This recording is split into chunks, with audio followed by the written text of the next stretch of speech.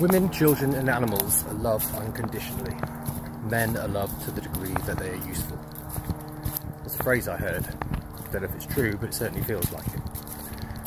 And uh, that's a big part of why I'm separating from my wife. She just didn't need me anymore.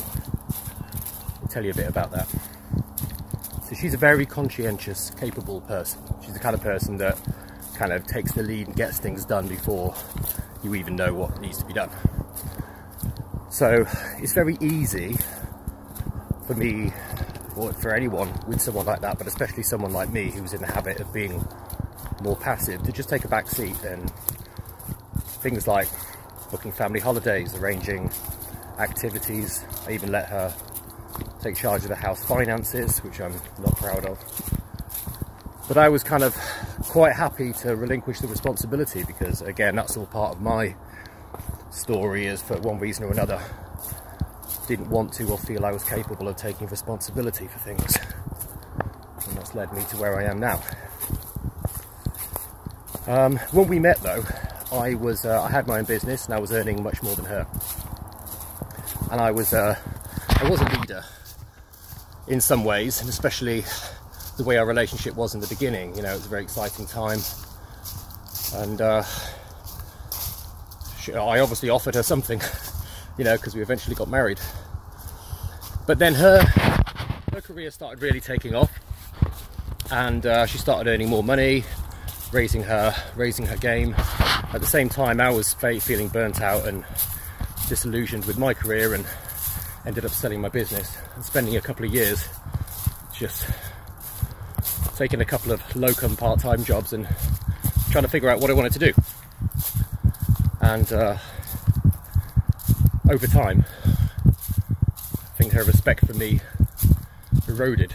You know, she didn't need me financially for sure, but I think also in her eyes my prospects decreased as well because as time went on, it became less and less obvious that I was going to, you know,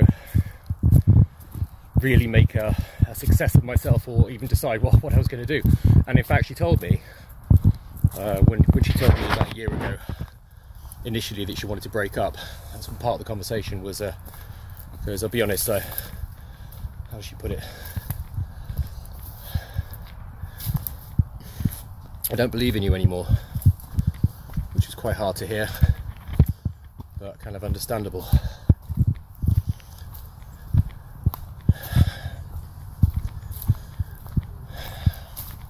I think if I was trying, if she saw me trying more, it would have been different, but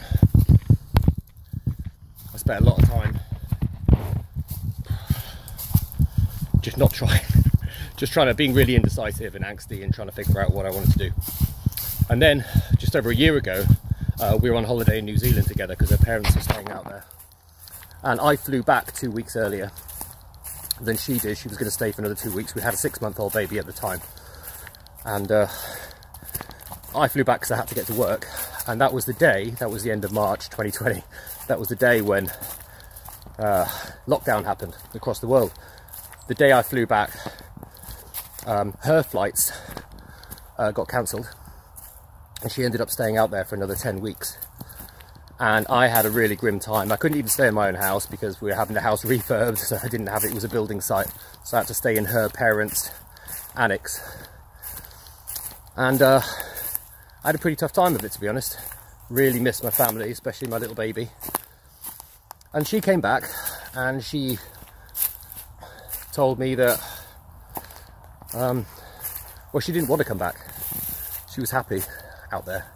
She's living in this sort of paradise beach town, being taken care of by her parents, you know, just having to go on walks with a baby every day. That was, that was it, you know. She wasn't looking forward to coming back to me and the only reason she eventually did, because her flight get cancelled again and again, the only reason she did, she says, was because she knew I was so upset. She didn't want to do that to me anymore. So she didn't come back because she wanted us to be together or she wanted thought we should be together as a family. She came back um, for my sake. So the moral of the story is if you're not useful for a long enough period of time, she might leave. And um, there was more to it than that. You know, I'll, I'll, cover different things in different videos. There was a couple of incidents where she needed me to step up and take responsibility and I didn't, I let her down and that kind of catalyzed the end. But a big part um, of the breakdown of my relationship was me not taking responsibility.